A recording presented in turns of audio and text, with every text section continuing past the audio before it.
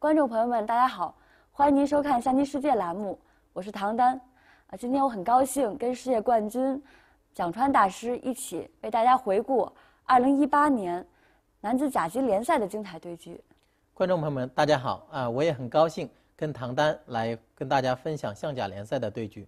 今天我们为大家带来的是内蒙古伊泰队洪志特级大师对阵江苏队呃新晋特级大师孙一阳的对局。嗯。啊，这盘棋呢是由弘治特级大师执先啊。布局弘治特级大师采用了仙人指路。嗯。嗯。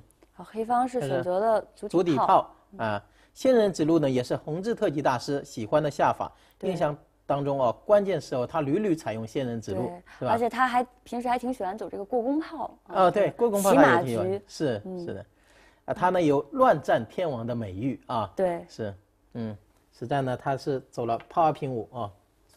仙人指路转中炮，嗯嗯，黑方选择的是三象三进五，哎，这个时候呢，洪志特级大师是选择了象七进九，对。啊，啊，这个这个棋也是最近几年出来的一个新变化啊。对，其实，在前几届的这个呃节目里，可能呃有棋友可能也知道，我们也讲过这个呃红方这个象七进九的变化，还讲过一盘你之后手跟洪志特大的一盘棋，哎对，还有你跟王天一大师也下过这个棋啊，就是象七进九。呃，因为执黑方呢，对我也是比较喜欢用足底炮三象一个现任指路的。而最近呃，象七进就比较流行，他们都喜欢跟我这么下。对，所以我也下了好几盘，是吧？我们可以，嗯，一会儿可以给大家讲一讲这个感受。可以的。象七进九，象七九。啊，这盘也是象七进九。啊，黑方是走了一个马八进七啊，马八进，红方是马二进三，这样的话动子马二进三，黑方呢是车九平八。车九平八。嗯。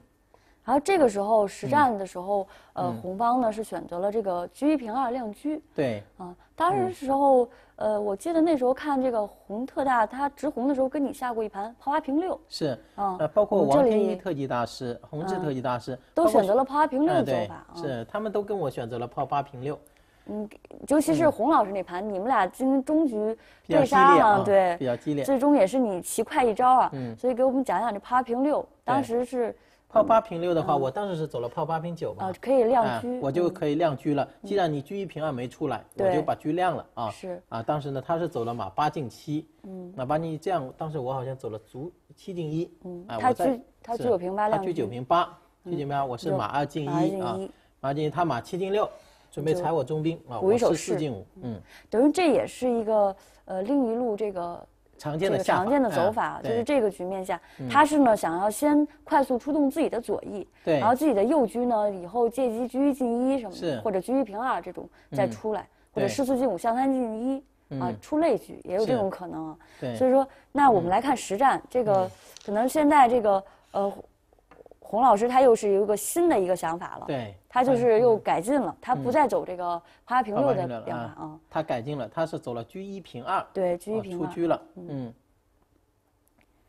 呃，出车之后呢，呃，孙一阳是选用了是炮八进四，炮八进四，封车，封车，嗯，封车这个时候，这时候红方是选择了马八进六，马八进六，哦，他是也不走这个炮八平六，马八进七这么一个思路，也是转换了一个，走一个拐角马。啊，现在肯定不能再炮八平六马八进七，因为车被封住了，是吧？是比较慢。这个时候也不能走兵三进一啊。这是一个什么？啊，兵三进一的话，黑方可能就走炮八平一了。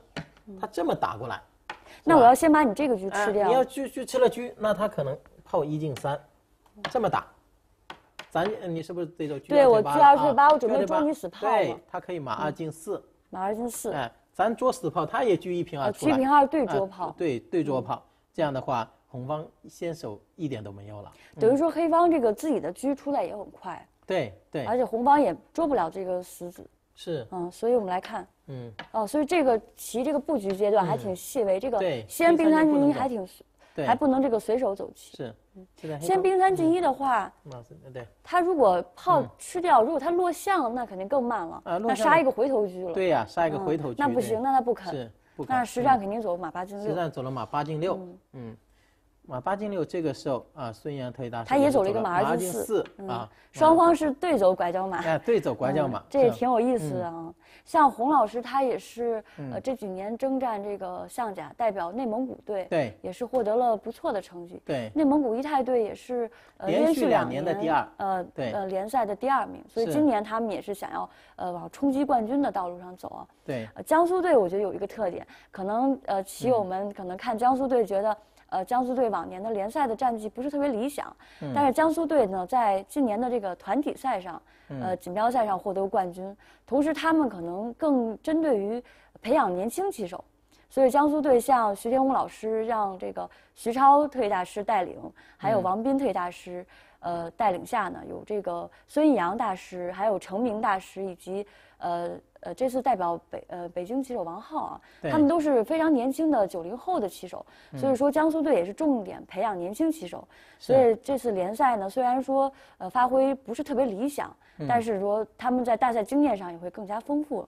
所以这个孙逸阳呢，这盘棋也是面对呃红天王啊，所以说也是比较谨慎，对他走了马二进四。嗯，那么这个时候，呃呃，红蒋大方是选择对他走了居九平八。红方选择居九平八啊，哎，蒋大师这棋红方如果再兵三进一，那是不是还是黑方有在兵三进一，他这时候还是可以走炮八平一，嗯，等于说还是要杀个回头车。对，还是要杀个回头车，他不是特别愿意，是他走了一个嗯嗯车九居九平八车九亮车平八，嗯，亮那车，黑啊方肯定就顺势卒七进一了，对就是说我现在也不让你兵三进一冲是。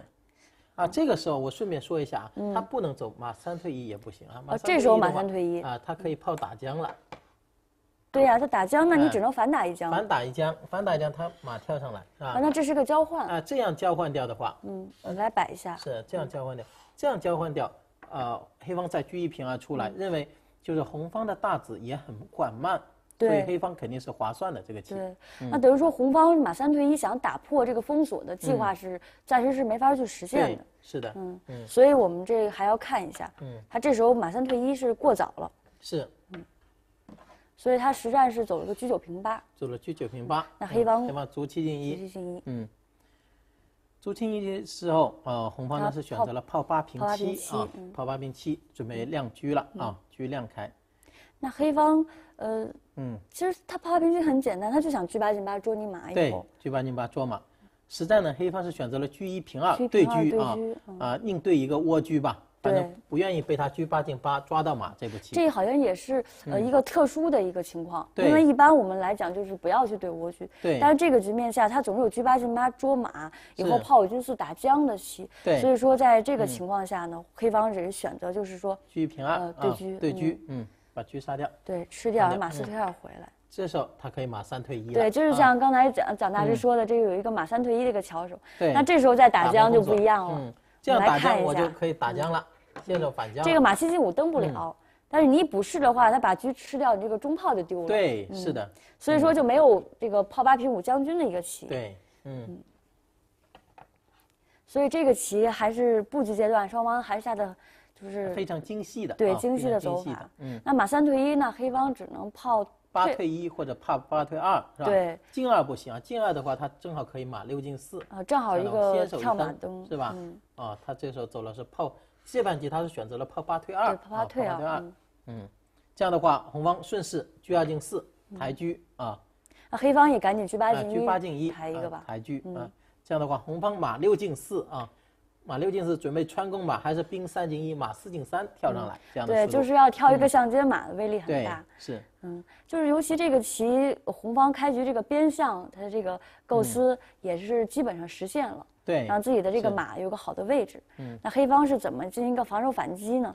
他实战是实战是选择了车呃八平六对车八啊平六。啊，印象当中，陆伟涛他们还下过车八平四的下法，啊，对我哎们河北大师啊，呃比较呃就是能抗衡的局面。对，嗯，那就是说这个车走在哪个位置，还得还得去还得去还得去对，精心的去考虑。是的，嗯，尤其，但是我感觉他这盘车八平六挺直观的这个走法，因为我又想着以后六进五了啊。对以后要进击兵线嘛，就是嗯说击六进五，是，呃嗯，来控制你这个上将呃河对沟马，是。嗯，实战呢，这个红方是选择了四六进五，对是吧？捕一手啊，士士六进五，嗯，当时我还在想，呃嗯，既然我不是都马都跳到这个好位置了吗？我这个棋这能不能个对呀、能不能就是赶紧把兵对开呀、兵三进一的话，黑方可能直接拱啊，这时候走车六进四没有效果的啊啊。进车的车六进四话它可以跳马。哦，对，跳马那白走的，那不行，嗯嗯，它只能如果拱拱掉的话啊，拱掉当然继续贯彻你刚才说的思路的话，对呀、我马跳的好嗯位置，它可以炮八平七，把马给顶住，对，是吧？是这个马就是说位置是挺好，但是黑方防守的还挺对，黑方正好在这个特定的局面下有一个炮能把你顶住，对，所以说呃红方的进攻前景也不大，是，吧？所以暂时这个打开这个局面还不是呃为时过早，对，嗯，为时过早啊。所以他走了一个十实战的六进五，十六进五啊，对，那黑方也是继续嗯贯彻自六进五啊己思路，，他嗯贯彻自己的思路，顶住这个呃四角的马，嗯，嗯四角马。这样的话，啊，洪特大是选择的比较直接啊，他就是炮七进四对就打兵了，对他直接就把这个兵吃了，先吃一个兵，嗯，可能想着不吃兵，下一步黑方可以卒三进一把兵对对对啊，不吃兵的话，黑方卒三，当黑方如果走到卒三进一这个位置，黑方就嗯。一点不差了，这个局面就哦等于黑方的这个阵型还是比较稳固。的。，对，是，那现在黑方呃少了一个兵，对，而且同时可能嗯。这个边兵还要小心他以后炮七平一再吃个兵，对嗯是，所以这个局面黑方又是呃进行了终局这个复杂的局面下一个很重要的一个抉择的一个地方了。对是，嗯。这时候呢，黑方应该是选择了车六平七吧，嗯啊，当时呃我看孙特大走了一个车六平七吃卒，嗯。嗯，就是这个棋在这里我就想这个到嗯。底车六平七还是车六平五，就是两个卒到底吃哪个卒？嗯，好像也挺难，就是去判断。可能居六平五更好一些吧，嗯对，啊，居六平五的话，其实也不怕他对这个，是吧？嗯，那他如果对对吃掉是吃掉，咱是不是可以有个居五退一，哦，可以拉住这拉住他的棋，是吧？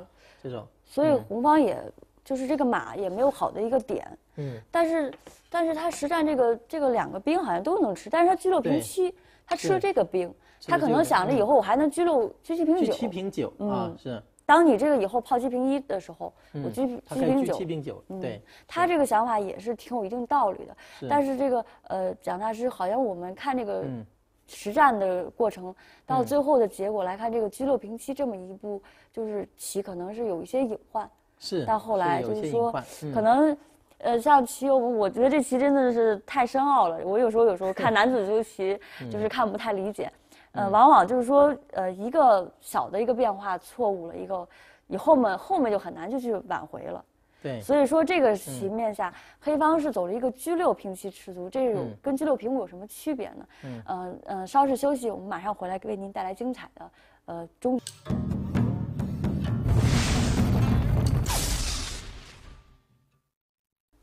好，亲朋友们，欢迎您继续回来收看。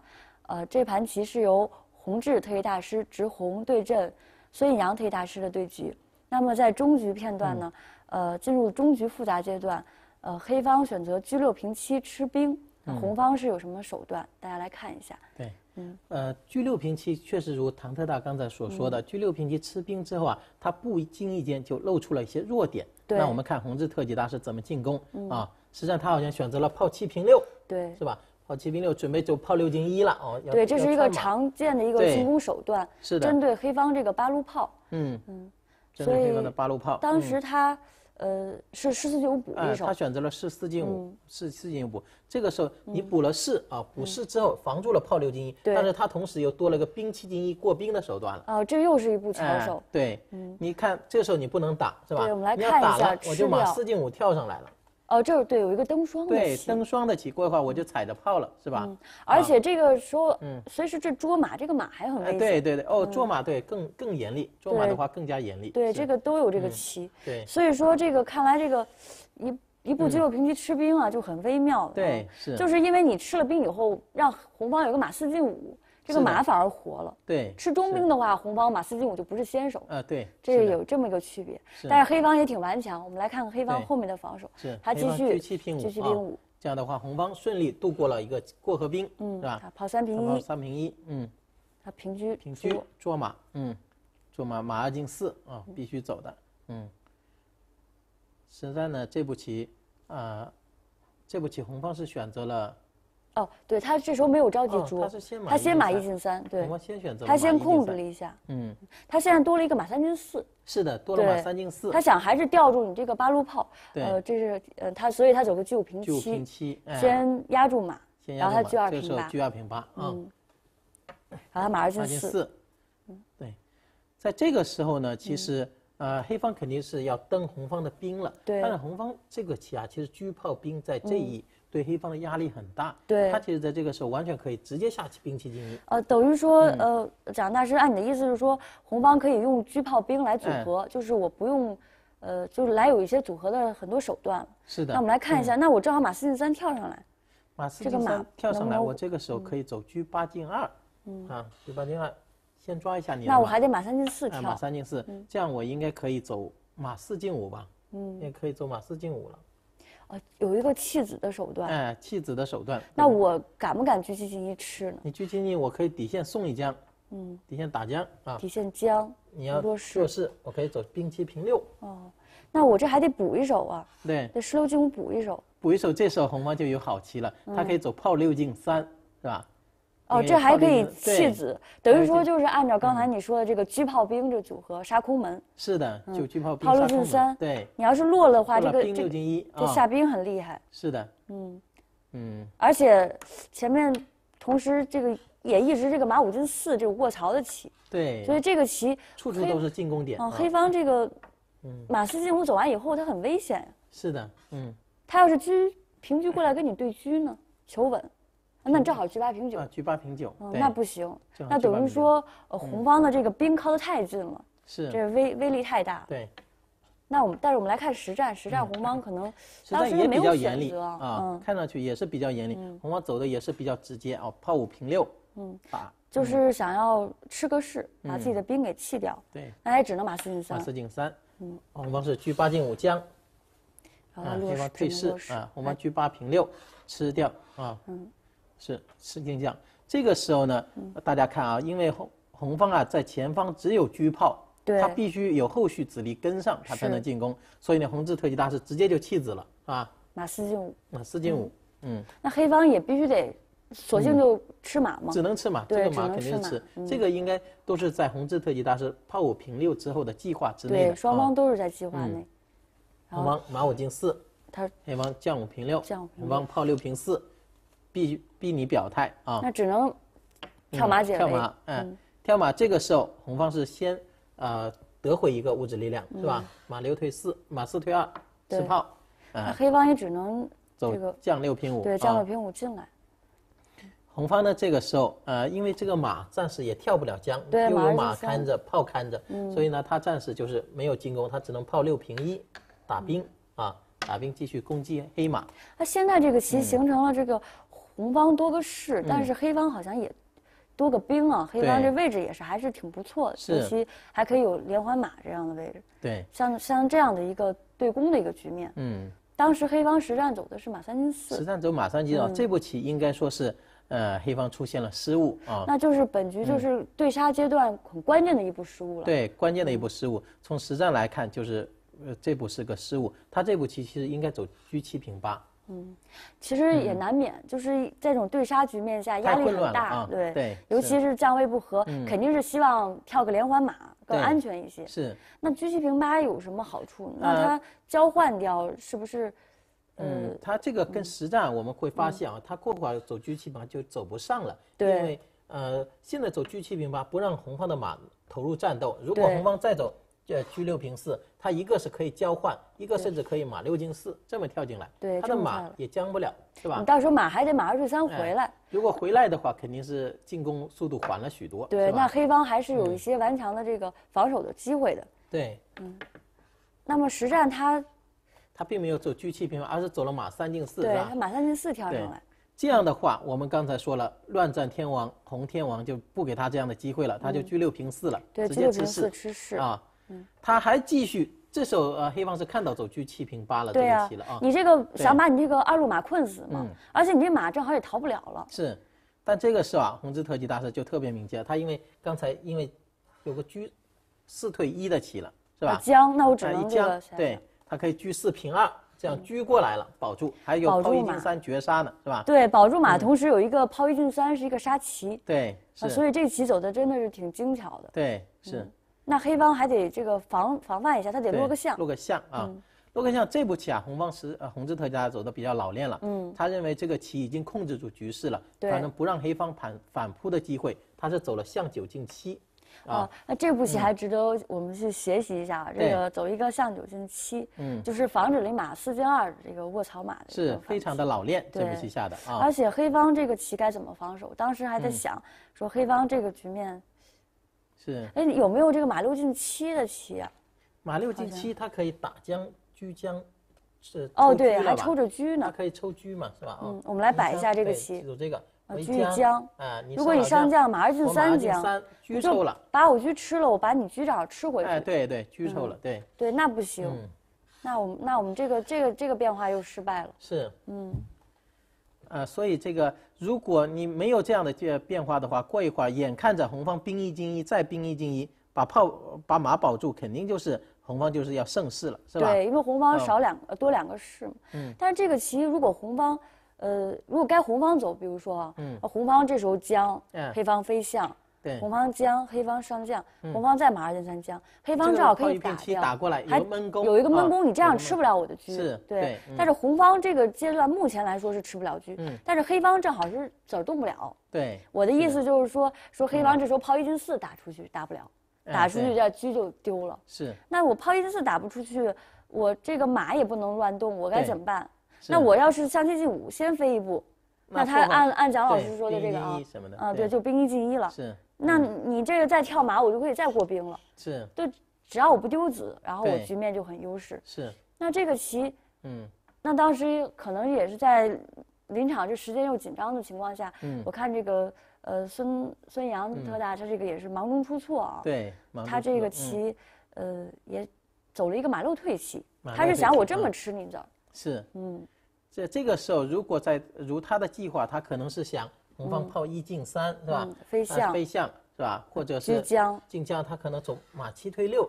嗯，哎，哦，他可能对他上将也可以的，哦，对对，可以这么。因为这时候你马二进三将，他正好炮一并七打，是是的，是的，对，正好是偷吃你车，嗯，你车把这打又是闷攻又是偷吃车，他就寄希望于这样子，嗯寄希望于这样子，对，但是这时候就是黑方也是走了一个很精彩的一个红方啊红方走走了一个很精彩的入局手段啊，对入局手段，我觉得这里我们要停顿一下，然后棋友们呃那哎个思考来一下啊，思考一下，看看来看一看。妙手进攻，来嗯。看一看这个时候，这个红方这个马嗯。面临丢的情况下是怎么有个攻杀的棋。嗯。嗯，其实，呃，孙杨特大呢，他也是一个年轻的浙江，呃，呃江苏的的年轻的嗯。新后起之秀啊。。对，是今年的这个亚洲锦标团体锦标赛上，也嗯是为我们中国队获得了亚洲团体锦标赛的军冠军。嗯，他也自己也是荣升特大，对，所以但是这个局面下，当时他也很嗯很顽强的守，但是很可惜，还是是洪老师，嗯，下的很果断。是我们来看看这个棋，嗯，当时退马走的非常妙，嗯哦，马二进三，对，弃车了个弃车，嗯，那你只能把车吃就掉，把车吃了嗯，红方吃回来炮一进三，马上连续的进攻手段，那只能飞象。飞象啊嗯，他这时候走炮四进七，继续一将，电车那就啊，那你就丢子了了，只能落象。落象。嗯。这个时候他有炮四退一啊，嗯。眼看着有象无处飞，是吧？嗯，嗯，有有象无处飞，嗯，对嗯，他这样将。对，这样的将他就必丢车了，嗯，是吧？哎，对，那我们前面还得给大家讲讲这个棋，嗯。就是，就我刚才突然想到一个嗯。变化，嗯就是说这样子，嗯，就是这样的一个棋，嗯。呃，我我能不能就是平炮给你拦住？我刚才突然又想到说，呃，有又想到哦有这个，这个可能也是他也有兵一进一这样的棋啊，眼看嗯。着我也可以兵一进一，等于？说黑方现在主要是黑方没有攻势，是黑方没有攻势了，而且这个哦，对我平炮拦住你，是不是还有车二进一的棋？车二进一有这个吃我这个还吃象，对对对是，那还挺麻烦的。这样可能更好嗯，是吧？对对，我我我其实在这个局面，我当时也真的为黑方考虑很老半天，我说是这怎么办呀？然后还有想那这过兵我不理你，嗯，但不理你还是按张老师说的啊，他也要拱个兵。拱兵甚至也嗯可以炮一进三将，打将马进四车抽掉。哦，对对对，这个兵还不能乱动。所以他这个棋特别巧，就一个棋都动不了。对，这个局面还挺精，还挺巧的。这个马如果不在这里，我还可以抛一平六，以后抛六退二手。对，但是现在又没这机会。是嗯，所以当时我我就在这个局面，嗯我也真的是为他苦思冥想，想了半天。是，可能呃，在我的感觉里啊，嗯这是蒋老师呃蒋大师，我觉得这个棋黑方可能比较顽强，就索性我就飞一个象飞一个棋进五啊因为你兵一进一拱吧，那至少你这个底线还暂时没有齐。是万一以后我这个呃炮一进四打出去，车八退一，我攻击你的左翼有空门有没有这种的设计想法啊？嗯。当然这个肯定也是肯定是对。局面已经很困难的情况下。嗯那么实战它这个回马，我们来看一下啊，我们来看后面对，嗯就像刚才棋，我们应该也能看清楚，这个车就丢下啊。嗯，再来欣赏一遍这个，对呃，这个确实是很享受啊，嗯象棋能下出是这样的啊特定局面出来。对，有一个正好有个先弃后取，对一将，然后又一将将，再将啊，你不能垫车，垫车我就马三进二，进多一大子，是吧？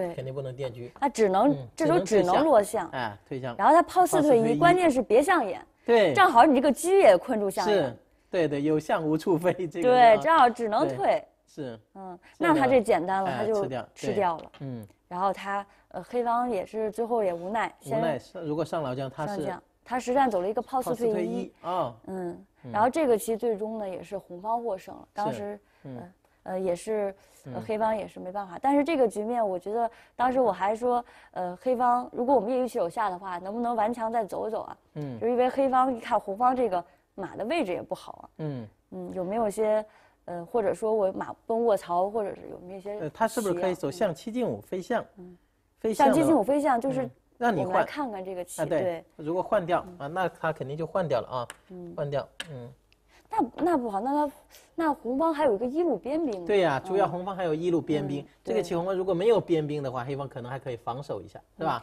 当时我记得这个棋，当时还摆了这个残局，说这个残局，嗯呃，这个炮在这里啊，嗯说这个残局说这个马有没有给他困死的机会？哦哎，当时还说炮一推二，但是他马马能回来吗？那该黑方走肯定能有这种困死啊，对偷杀的机会，但是没有。但是像那个蒋大师你说这个局局面，嗯主要红方呢，呃，多失象，而且还还有个边兵，对嗯，这个棋肯定最后也是很无奈，只能认认输了。对，但是，这个棋我觉得，嗯，你能不能再给我们棋友们多讲讲这个残局知识呢？就比如说，我们给大家摆摆，就是这个局面下，嗯对如果当然这个有哎兵棋肯定是红方赢啊。如果没有如果没有这个哦两兵，因为我记得嗯以前你下过好几盘这，种精彩的棋，而且黑方也没有兵，嗯是这样的一个残局，黑方没有兵可能就危险了，就这就这样的对对对，一个棋吧是。是是，呃，我我下过好像马双向都下过吧？马双向我记得对对对对，你下过，嗯马双向也下过，对，嗯，我我印象中记得这个呃蒋大师，你是下过这个很多很经典的这个残局，比如说你是马炮方，或者是你是马方，是剩俩象，对就是这个棋呃嗯的胜率是什么情况？啊，这个基本上是必胜了，呃红啊方必胜啊，红方嗯是必胜，但是呃这个棋必黑方必须有两个过河子，两个过河兵是一个棋肯定是守不住，一个是守不住哎对，嗯过话肯定要丢。那如果这个马是个炮呢？是个炮，也是应该说是必也输的是棋，对就是说还是防守能力要差一些。哎，对，但是印象当中是有这卒卒双象，好像是呃这样下过和棋。下过和棋如果红方下的精细的话，肯定是要呃最后都要丢光的。对，因为为我看过这盘棋，我就想到了这个残局有些很多精妙的残局。是我印象中记得还有这个双马，哎如果是红方是双马对黑方炮，好像是一盘和棋。啊，那就是和棋了。呃，这个棋好像有巧胜，但是这个棋并不是立胜的一个棋对，所以我觉得这个残局也挺有意思的，是然后给大家分享给各位棋友们。对。嗯，那么就是如果哎这个胜马的话，如果是马，呃，这个黑方就有危险了，。还是有危险 黑方就有啊，危险看来这个炮要比马要更灵活一些。哎，对啊，这个在嗯防守上，在这个局面下，炮更灵活一些是。